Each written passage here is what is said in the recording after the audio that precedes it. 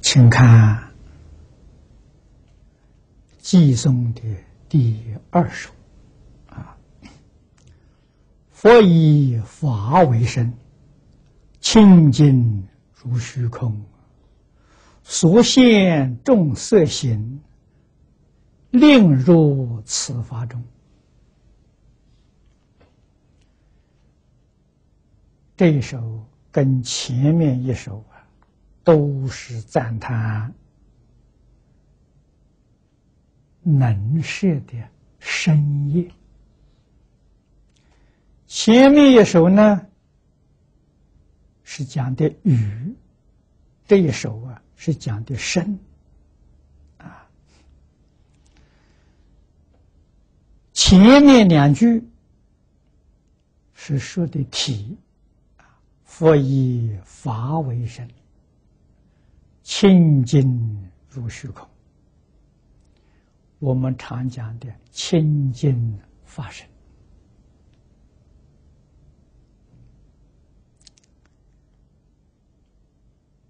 后面两句是讲作用，啊，有体有用。在这一点呢，凡夫跟佛呢显然不同。凡夫啊，是以这个五蕴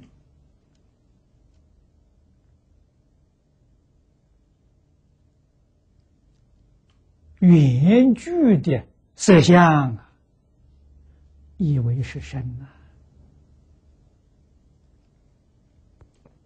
啊，不知道佛在经上常说，这个身是什么东西呢？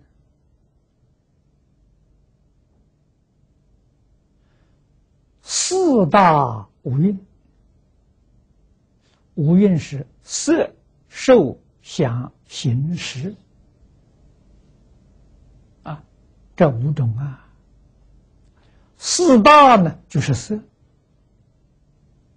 啊，地水火风啊，这个四大是色。四大五蕴，众缘聚合现这样一个形象，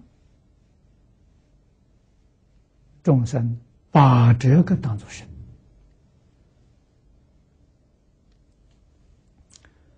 诸佛菩萨呢，跟凡夫这个之间呢不一样。诸佛菩萨是以法为神，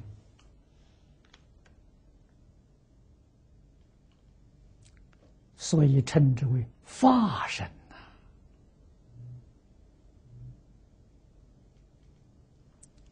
这个四大五蕴呢，原具形象就现前；缘散了呢，这个形象就没有了。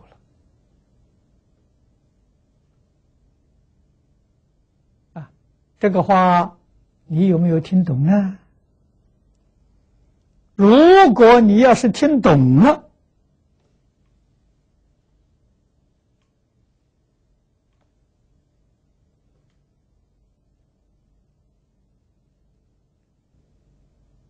这个生没有生死啊，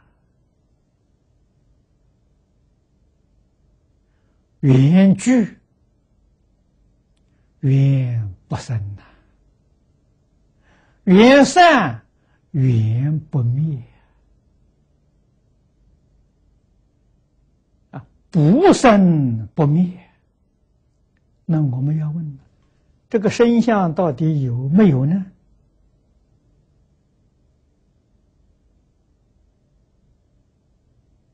佛给我们讲真话，有即非有，非有即有，给你讲的真话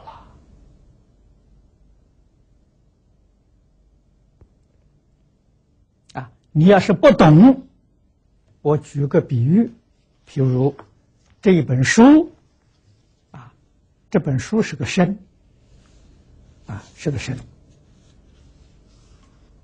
这本书是怎么成为身呢？这许多张纸啊，钉在一起，就成为是书啊。啊，这个这一本书啊，是众缘和合而现的这个形象啊，啊，钉在一起，哦，这书。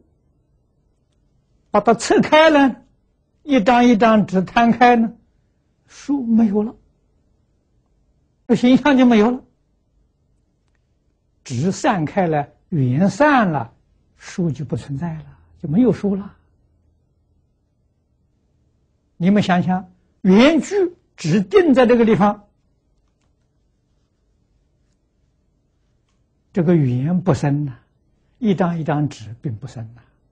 拆开散掉的时候，那一张一张纸没有灭，缘聚缘不生，缘散缘不灭。那么这个书的形象，你说它是有还是没有？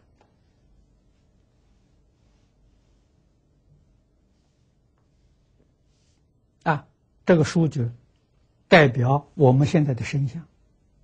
我们这个身相到底是有还是没有？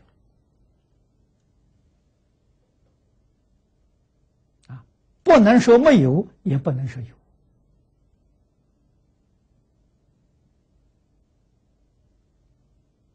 啊，为什么呢？原句就像这书一样，你想这个意思，你把它想通了，生死就了了。啊，你对于生死的恐惧啊，完全没有了。你知道是知道没有生死。你知道没有相啊？所以佛在经上讲的“无我相、无人相、无众生相、无寿者相”，你才会真正懂佛这个话的意思。确实没有啊！啊，所以给你说这个形象，佛在经上常讲的。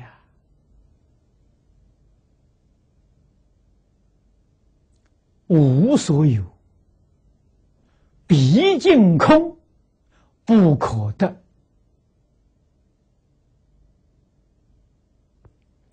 你知道这个形象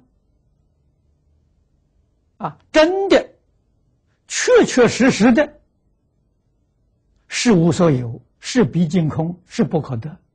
然后你再想到人相、众生相、寿者相。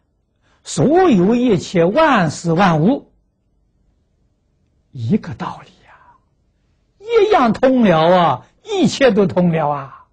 事出世间一切法，毕竟空寂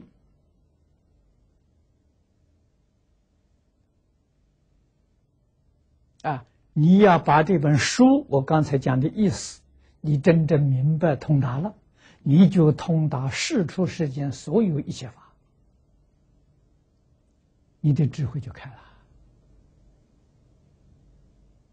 啊！你在这一切法里头，还会不会期望想、分别、执着呢？不会了啊！为什么会期望想、分别、执着呢？对于事实真相不了解，产生误会。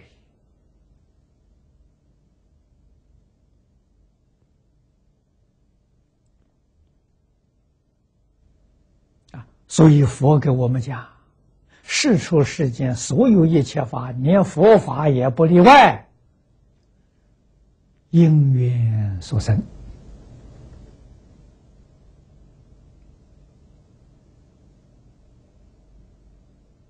佛这一句话了，就把宇宙人生的真相给你解答了。啊，因缘所生。凡是因缘所生，都不是真实的。啊，相有体无，事有理无啊，因有告诉你果无，果怎么无了？果又变成因了啊！因果永远在循环，永远在相续，永远在转变。因果有这三个特性啊。因变成果，果又变成因，转变了，因果相续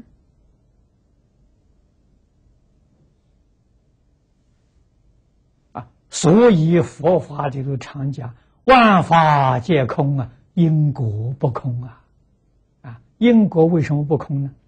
转变不空，相续不空，循环不空。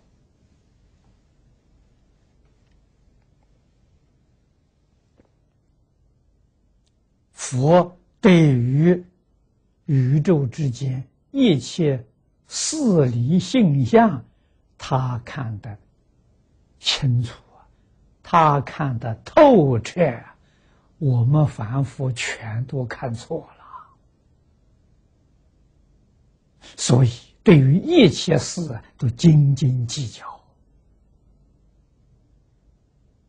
啊。佛菩萨在旁边看到，好笑。啊，有什么好计较的？毕竟空寂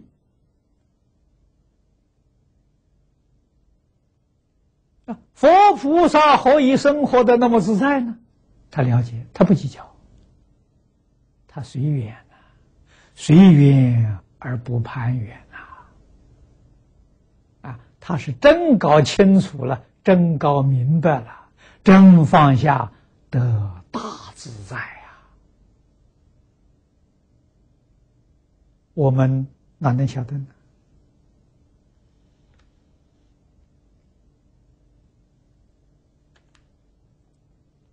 啊，这个两手机是说一桩事情，能摄受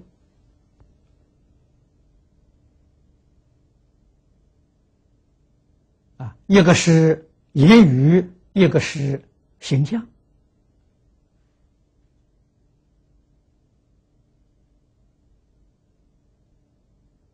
父子教学也是把这个排在第一位，形象就是德行啊，言语啊。佛也是把这个排在第一位。古人所谓的“英雄所见，大略相同”啊。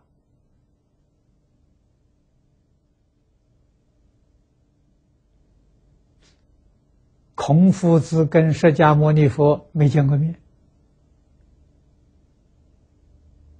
啊，没有通过信，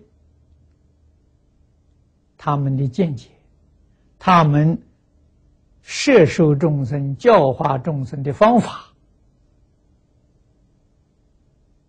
原理、原则，可以说是完全相同。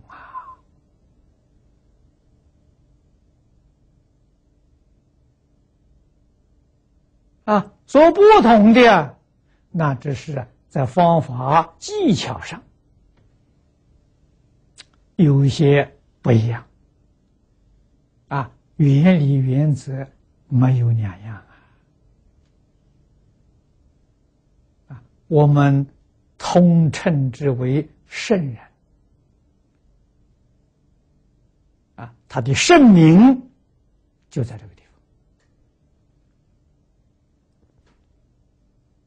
所以，头一个我们要会说话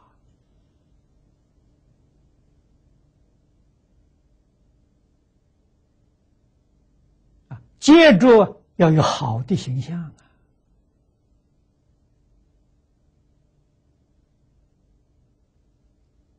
啊，确确实实，法是身呐。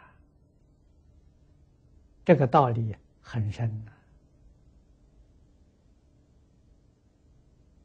啊！我们每一个人起心动念，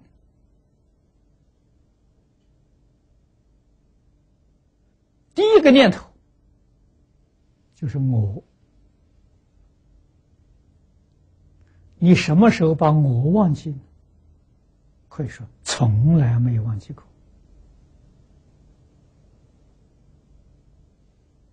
啊，睡觉睡得很熟，我还是没忘记。他会做梦啊。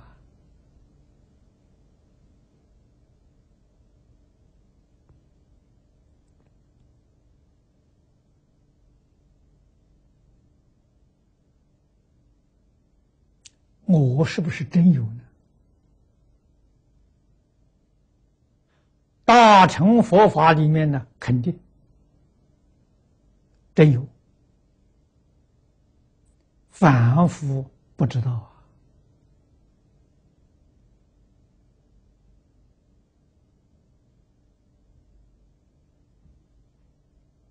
在佛法里面，我的定义。有八种啊，八种里头最重要的是主宰的意思，是自在的意思。我们想一想看，拿这个标准来看，这个身身上有没有我？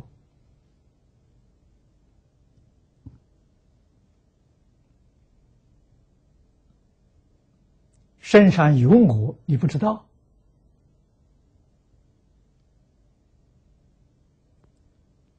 身上什么是我呢？四大五蕴是我。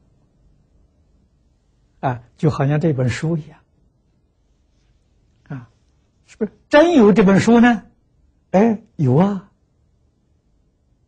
啊，这本书真的东西是什么？真的东西是纸张。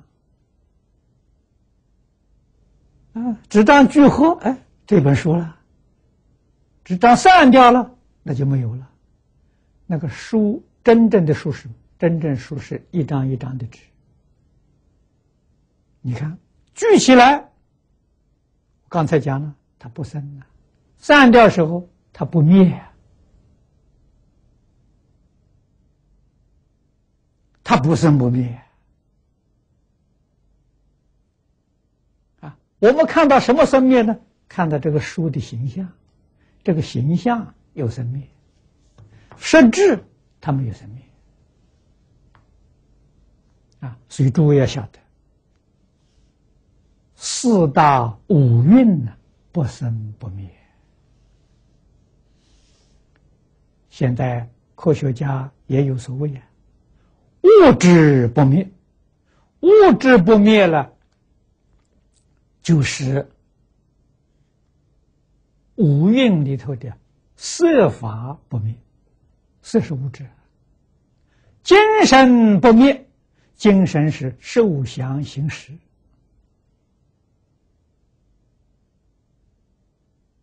啊，我们这个身体是精神跟物质集合的一个形象。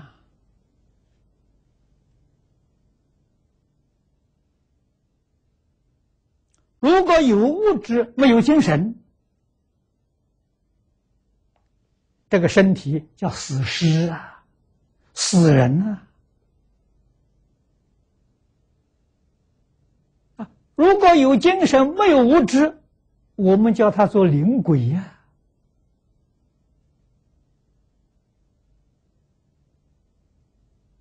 啊，中国人叫他做灵魂呐。孔老夫子在《易经》里面称他为游魂呐，佛经典里面称为他做神识，有精神没有物质，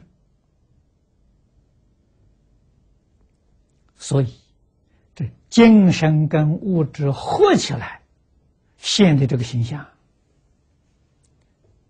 精神不灭。物质也不灭啊！你从我举的这个一本书的例子，你去仔细观察，啊，你细心去体会，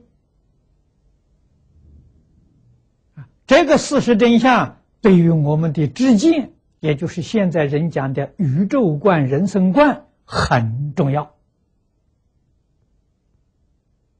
啊，可以纠正你一些错误的观念、错误的想法、看法。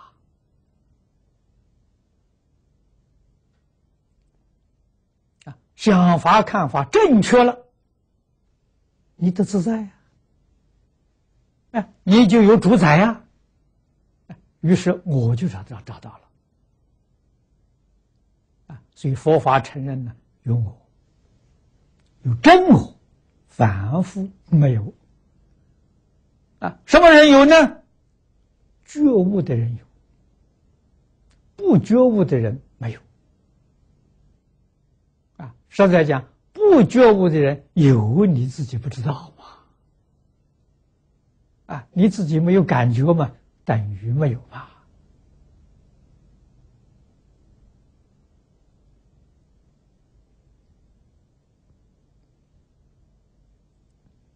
这里意思很深，要细心去参究。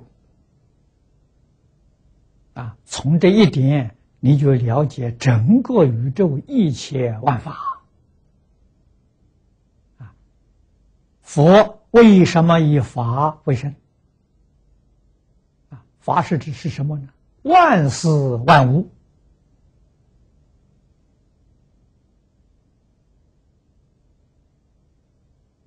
啊，这里面包括宇宙之间一切的道理。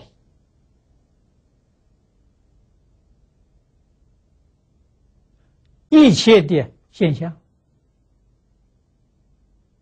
啊，一切众生，这个众生就是众缘和合而生起的现象，虚空法界，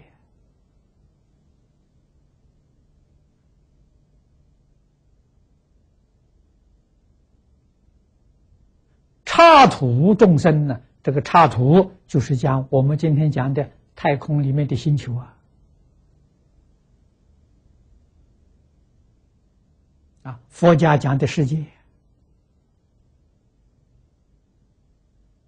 啊，这个里面的众生有有情众生。啊，有情就是心无有缘聚合在一起的。我们现在一般人讲的动物。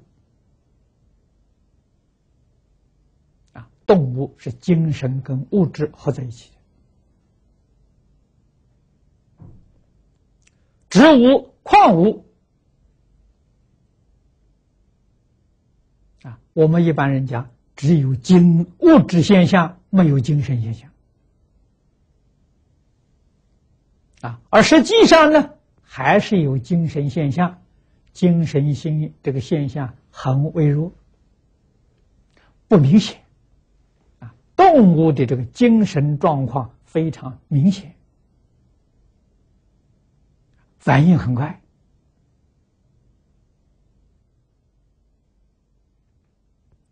啊，实际上连矿物、连自然现象、风起。云飘，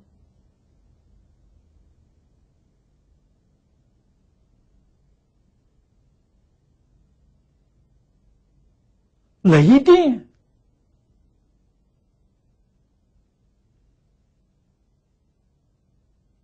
光波、电磁波、声波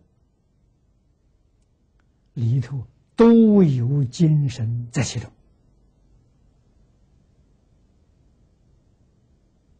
怎么知道呢？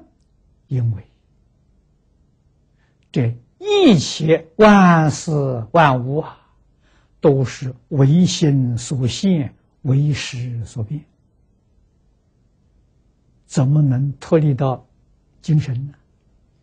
心跟识是精神呢，怎么能脱离？不能脱离啊！啊，所以《华严经》里面讲啊，风有风神，雷有雷神，啊，电有电神，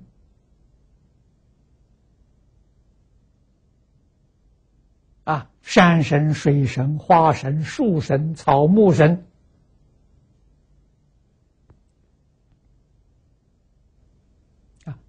它都有灵性呢，它的灵性比较微弱，它不是没有啊。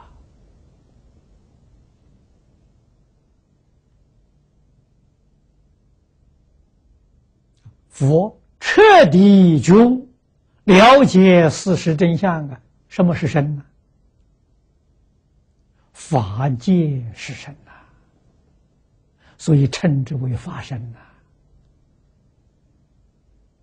啊净虚空变法界，啊，万事万物啊，是自己呀。你什么时候肯定了、认识了、承认了？那恭喜你，你证得清净法身，你就是化身佛了。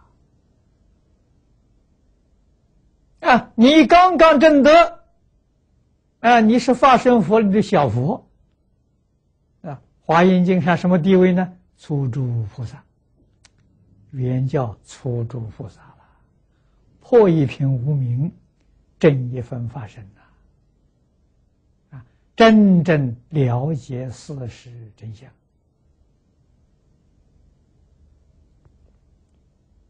啊，不再执着。这个身是身了，啊，这个是身，是我化身里头一个细胞，一个小分，啊，这个形象，我们世间人讲有生灭，在佛法里面不叫生灭，叫隐性，啊，原句。这个相现起来了，缘散这个相没有了，啊，叫隐现，不叫生灭，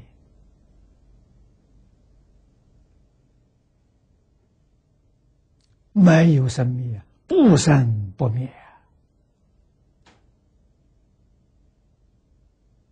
啊！所以你觉悟了，你在一切法里头。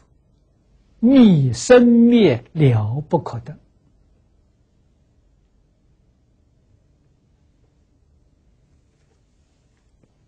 啊！那个生灭是个什么法呢？你们要学过《观法明门论》呐，生灭是不相应行法，不是事实啊，是众生的一个错误观念。啊，现在人称之为抽象观念。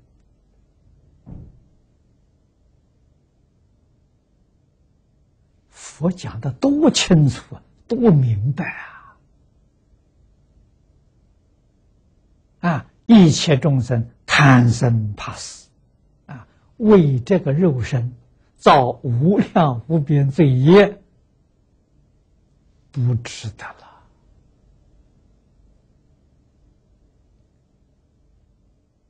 为了三寸不烂之舌，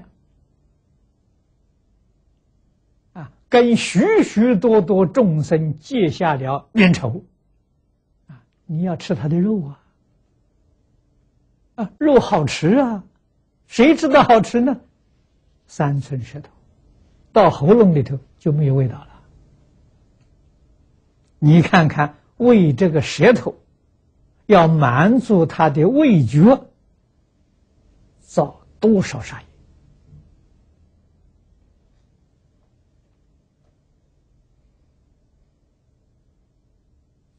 到国报愁长的时候，才知道苦啊！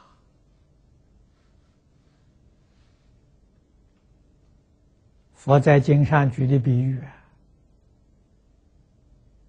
人死为羊，羊死为人。生生世世啊，互相残害，互相试啖呐。啊，这一生我吃他，来生他吃我。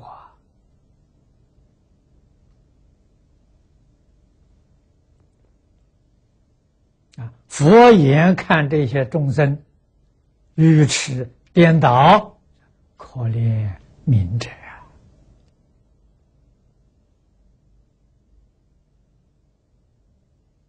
佛对于事实真相明白了，所以他实现的相清净庄严啊，他的语啊语义甚深深广啊，用这个来摄受众生呐啊，一切国土中啊，普言微妙音啊。称扬佛功德了，法界悉充满。啊，这一句话具体而言，就是《大方广佛华严经》啊，最好的代表。啊，你看看《华严经》上佛说的，菩萨说的。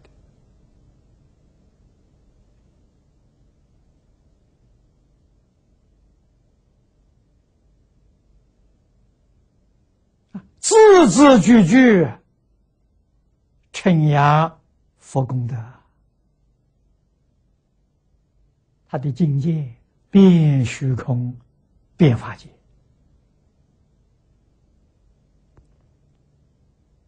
啊！尽虚空变法界，无处不现身，无时不现身。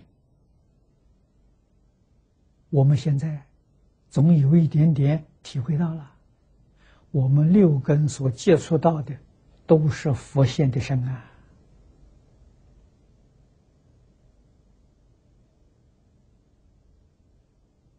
啊，都是诸佛如来的清净法身，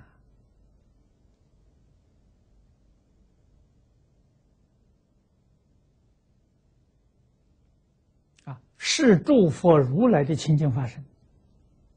也是自己的清净法身啊，自己现在不肯承认，就叫没有正德嘛。哪一天你承认了，就叫正德啊！你真的正德了没有啊？《楞严经》上讲的很清楚啊，圆满菩提归无所得。真德跟没真德之前一点分别都没有，一个是明白了，叫真的；一个是完全不了解、不明白，啊，叫没有真的。实在讲呢，就是觉个迷呀，觉了就叫真的，迷了没有真的。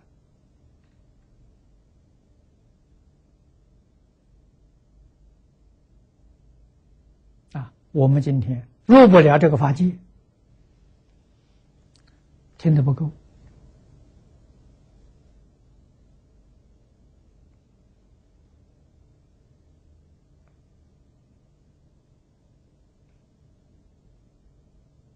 我们无始界以来。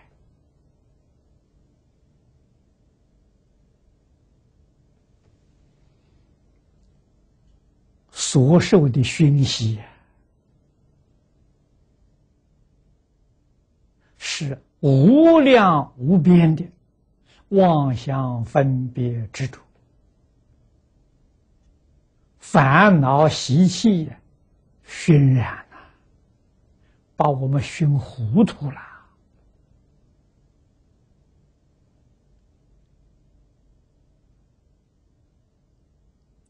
所以心思冥顽不灵啊，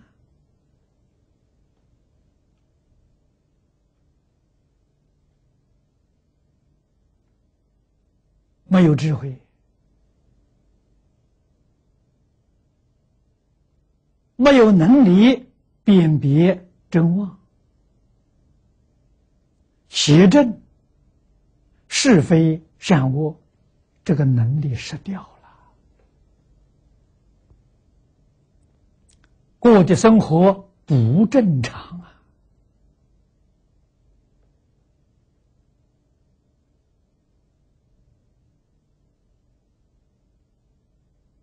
啊，要怎么办？怎样才能恢复我们的性德呢？唯一的一个方法，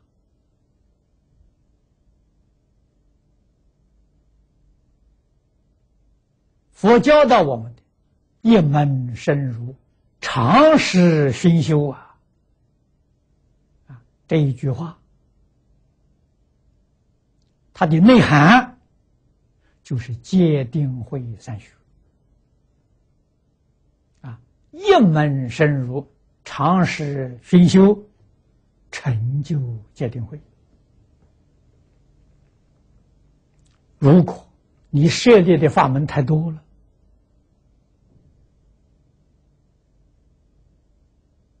啊，你也是常识熏修，你戒定慧不得力。啊，换一句话说，你的妄想分别执着。降服不住啊！《金刚经》上讲啊，云何降服其心？啊，你降服不住。真正能降服得住、有效的降服，那是一门深入啊，长时期的熏修，这才能成功啊！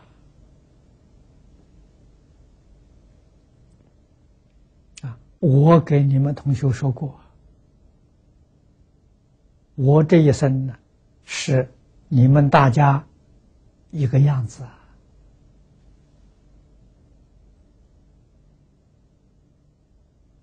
我对佛法的熏修五十年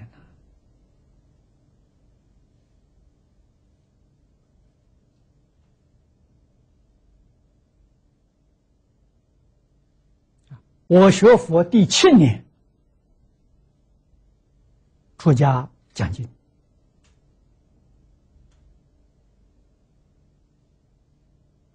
啊，一直到今天，从来没有中断过。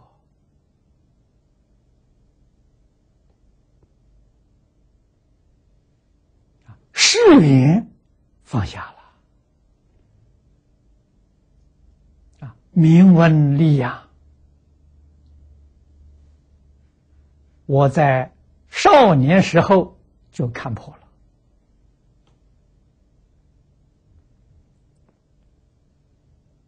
了啊。那么这个也是语言呢。我少年时代，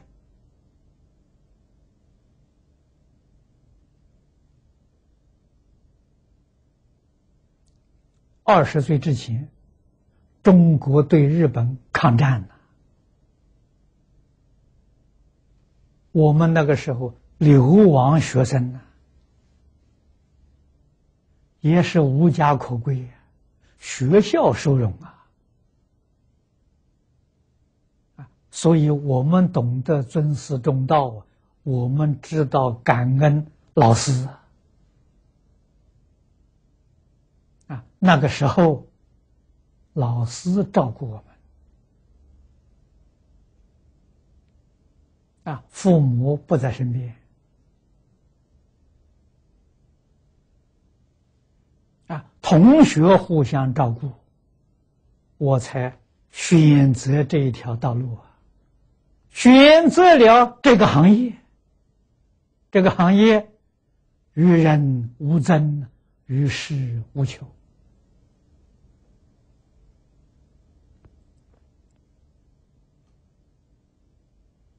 虽然遇到许许多多的障碍，真的是三宝威神加持，都能够突破。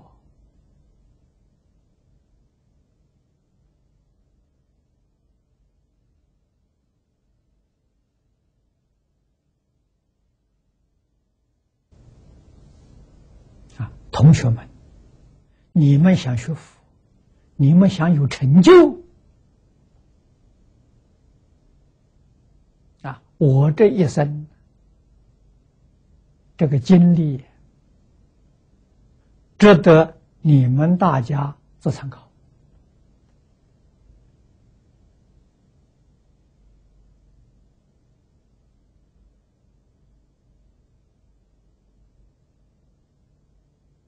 我这一生修学的经历，在台湾还有不少人很清楚、很了解。在台北的同学，在台中的同学，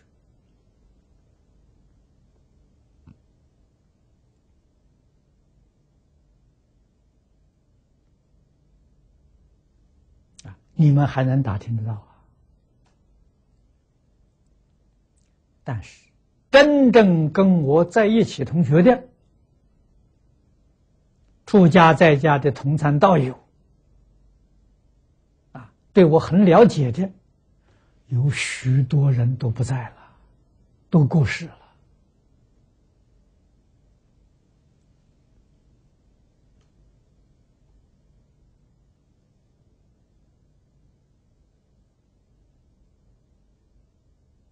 老一辈的这些法师，在台湾好像现在只剩下了悟明老法师，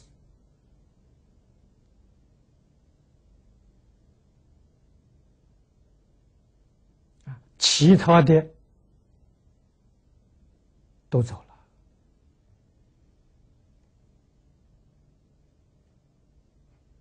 了啊。我们回顾。这五十年，一场梦啊！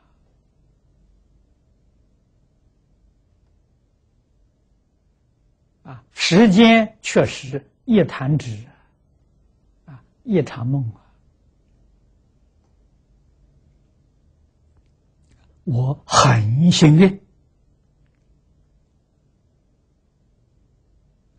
遵循老师的教诲。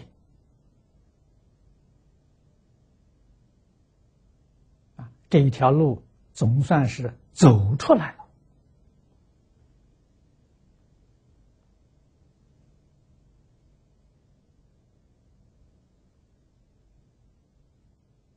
啊！所以我劝同学们，你要走这条路，这条路是光明的大道，有两个基本条件，你一定要知道，一定要能遵守。释迦牟尼佛离开我们的前夕，啊，嘱咐后世的学生：以戒为师，以苦为师。你要能守住这两条，这条路啊，你能走得通。遇到困难，肯定佛菩萨加持你。你要不持戒，你要怕苦，这个路你走不通。佛菩萨慈悲，想帮助你、加持你，加不上。就是我前面讲的，你抗拒。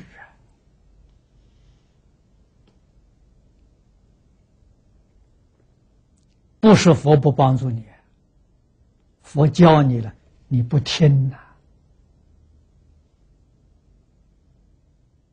啊，你不愿意受苦啊，你不知道那苦里头有真乐。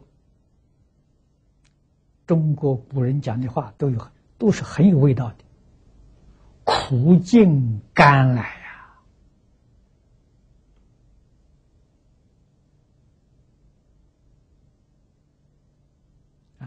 真正的乏味，无上的乏味，是从苦里头来的。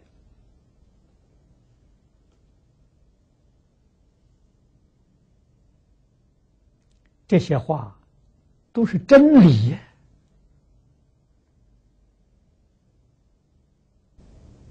你能懂吗？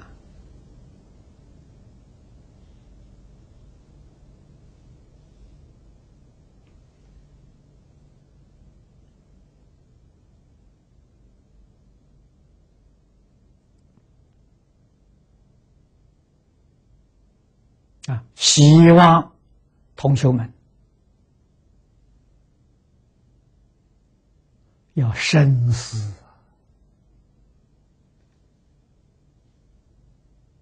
人生难得了，佛法难闻呐！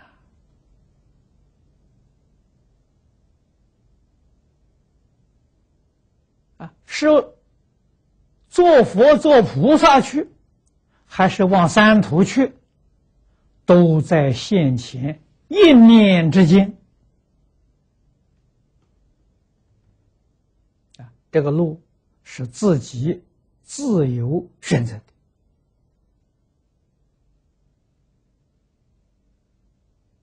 这是佛的恩德，这是佛的慈悲啊！这是佛的救度啊！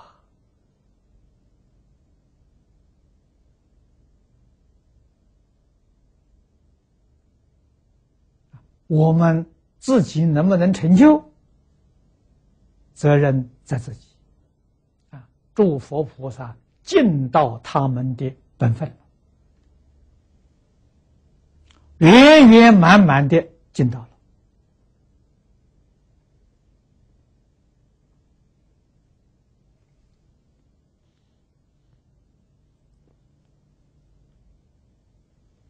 啊，后面的两句说。所现众色相啊，令入此法中。你看看后头这一句多好。此法是什么呢？大方广佛化也，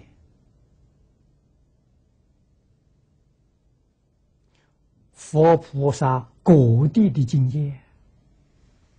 我们通常讲一真法界。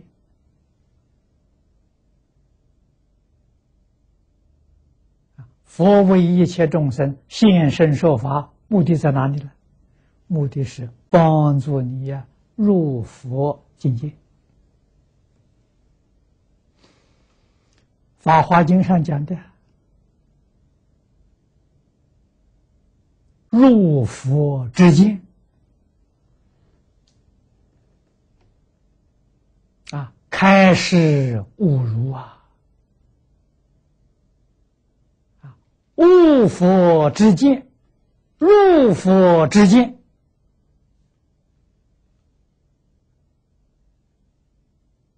啊，悟是明白了，完全了解了，通达了，如是落实了。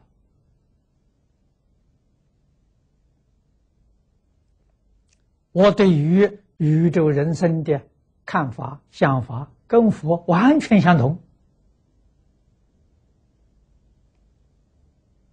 啊！我给人介绍，为人家的讲法，啊，我的刑法，啊，我的日常生活，跟诸佛菩萨没有两样啊。这叫如啊，入佛之见了，那就是入境界了。这个境界就是大方广佛化缘。佛度众生，佛帮助众生做到圆满了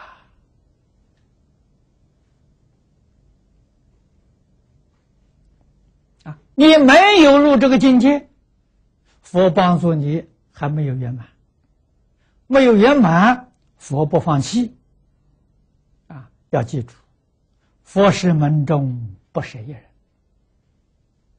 啊，佛不放弃，佛不勉强你。等到你哪一天觉悟，哪一天回头，佛再现身为你说法来帮助你。啊，佛帮助众生不着急啊。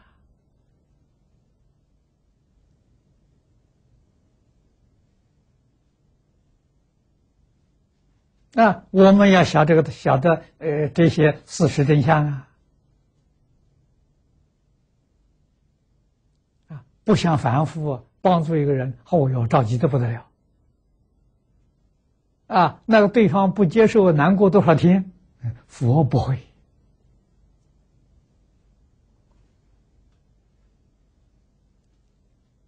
佛知道一切众生的因缘果报，知道他什么时候回头，啊，但是佛非常慈悲，总希望啊能够帮助你早一天回头，所以时时刻刻都在那里暗示。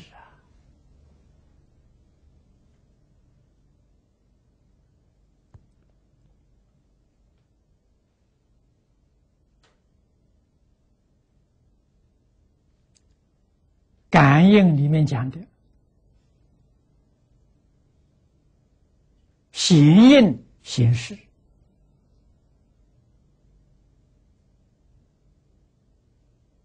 明应明示，显应明示，明应显示。啊，佛这个四大类帮助一切众生。从来没见到过。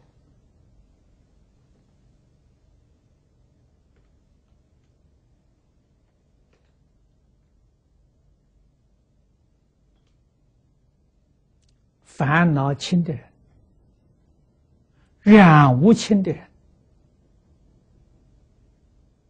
善根厚的人，心思敏捷的人。容易觉察到啊，啊，这一类的人在佛法里面称之为根熟众生，容易得度啊，啊，佛不舍弃，往往一生当中有圆满的成就。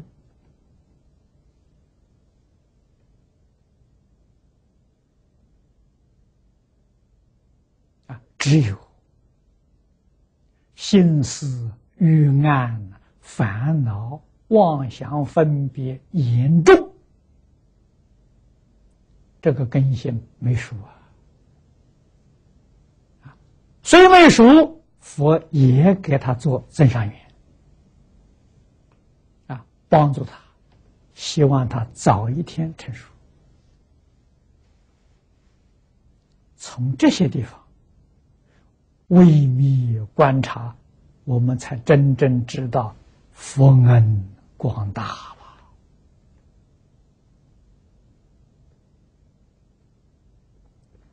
啊，佛对于一切众生呢，真的是无微不至。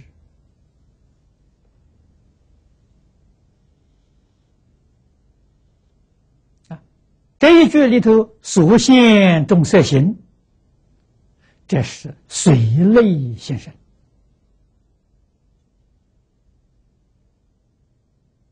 前面经文讲的很多啊，佛总是随顺一切众生的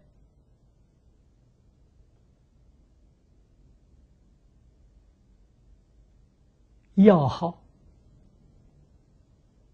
欲求。为什么呢？这个样子教导众生容易接受。你要是违背他的嗜好，违背他的愿求，难了，他根本不能接受你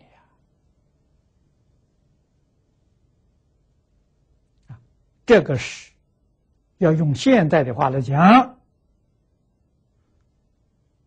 是圆满的智慧，高度的艺术。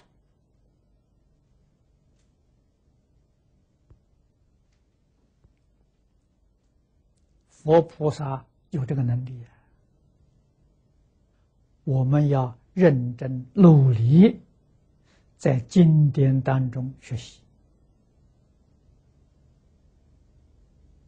啊，处事待人要有智慧，要有艺术。在佛法的名词，善巧方便啊，菩萨所在之处啊，令一切众生生欢喜心呐，要紧呐！啊，人家欢喜你，就容易接受你的教化。